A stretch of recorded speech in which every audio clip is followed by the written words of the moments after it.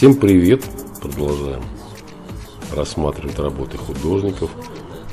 Музей Рарта представляет выставку испанского фотографа сюрреалиста Гарси де Марины, чьи работы бросают вызов воображению зрителя.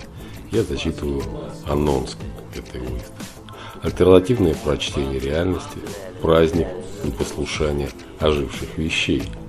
Испанец Гарсия де Марина – продолжая традиции сюрреалистической фотографии, предлагает зрителю альтернативное прочтение реальности. Творческий метод автора можно условно обозначить как охрония, взгляд на мир вещей, не учитывающих их исторически сложившиеся функции. Художник взаимодействует с предметами, как играющий с камешками ребенок, гениальный комбинатор и творец.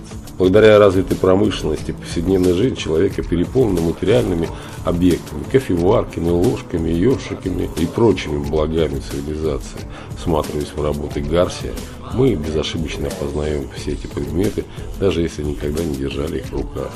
Художник создает мир оживших вещей, который пытается казаться не теми, чем они являются и складывается загадочные послания. Красота – это случайная встреча швейной машинки и зонтика на анатомическом столе. Умение разглядеть смысл в абсурдном и случайном уже делает человека художником. И автор предлагает присоединиться к этой затейливой игре. Гарси де Марина родился в 1975 году в Испании. Страсть к фотоискусству захватила его. В 2015 посольство Испании предложило де Марине представлять страну на конкурсе «Фото Век DC». За последние годы автор принял участие в десятках фотофестивалей как на родине, так и за рубежом.